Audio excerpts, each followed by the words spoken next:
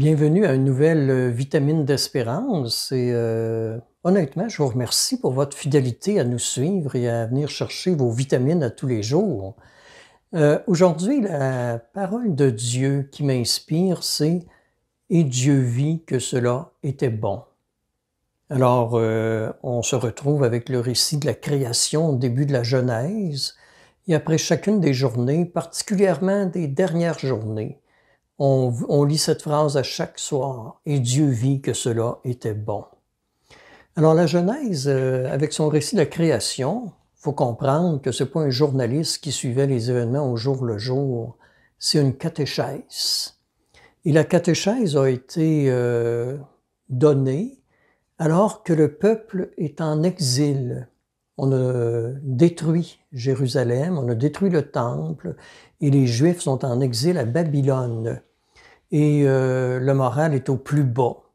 Alors peut-être ça ressemble à nous autres là, qui sommes tannés d'être en, isolement avec la COVID.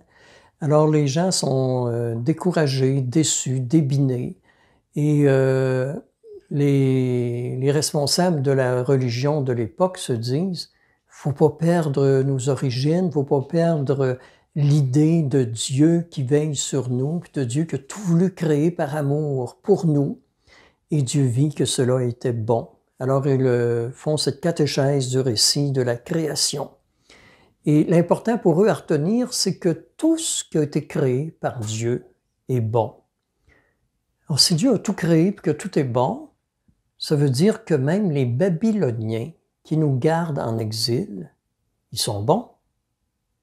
Ça n'a pas de bon sens. Alors, euh, c'est Jérémie qui écrit ça. Fait qu'il le crie en même temps aux gens, parce que lui, il restait à Jérusalem dans la désolation, de la dévastation. Alors il écrit à ses concitoyens en exil à Babylone, ne vivez pas entre parenthèses, c'est-à-dire ne vivez pas en attendant d'être capable de faire d'autres choses.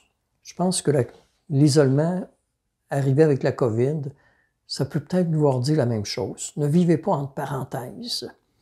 Arrêtez de pleurer sur votre passé, dit Jérémie, puis impliquez-vous avec les Babyloniens. Faites-leur du bien, même s'ils ne l'ont pas mérité, puis témoignez de votre espérance de voir revenir un jour dans votre pays.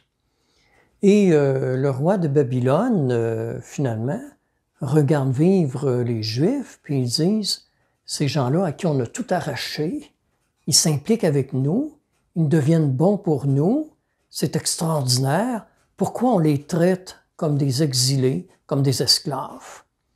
Et finalement, le roi leur redonne leur liberté, et plus que ça, non seulement il leur redonne leur liberté, mais il leur donne de l'argent pour rebâtir leur pays.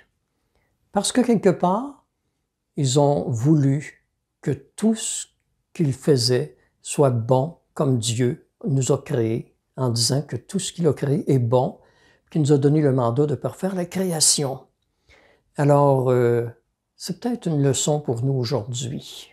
Être capable de demeurer bon, de vouloir faire du bien, de voir le bonheur des gens autour de nous, même si on est dans des conditions parfois difficiles, et faire en sorte que parce que on devient bon, ben, on donne de l'énergie aussi aux gens qui souffrent autour de nous.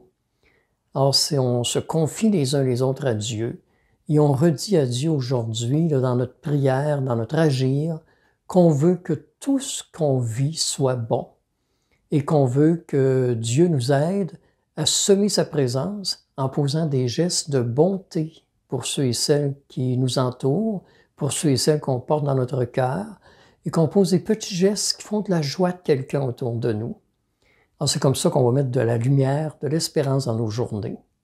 Alors, merci de vouloir, comme moi, vouloir rendre heureux les autres parce qu'on est bon. Bonne journée et au plaisir de se revoir dans une prochaine vitamine.